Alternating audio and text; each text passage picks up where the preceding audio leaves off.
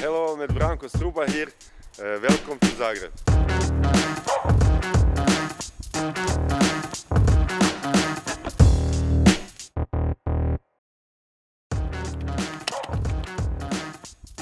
Volledig toeval uh, dat ik naar Genk kwam. Dat was toen mogelijkheid, mogelijkheid dat ik naar België ga. Hartse Genk, ik heb eh, om eerlijk te zeggen nooit gehoord. Ik dacht, ik ga proberen.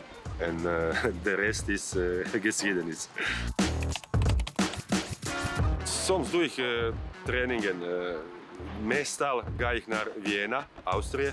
Mijn vriend, heeft voetbalschool en dan doe ik gewoon 1 tegen 1 met kinderen van 7 tot 17. Als ik in Zagreb, waar ik woon, dan ook soms heb ik 1 tegen 1. Voor de rest, ik heb mijn mama in uh, ze heeft uh, spijtig genoeg uh, Alzheimer. Ze kent niet meer ons en mijn papa is, hij wordt binnen een week 83. We proberen alles in orde te brengen.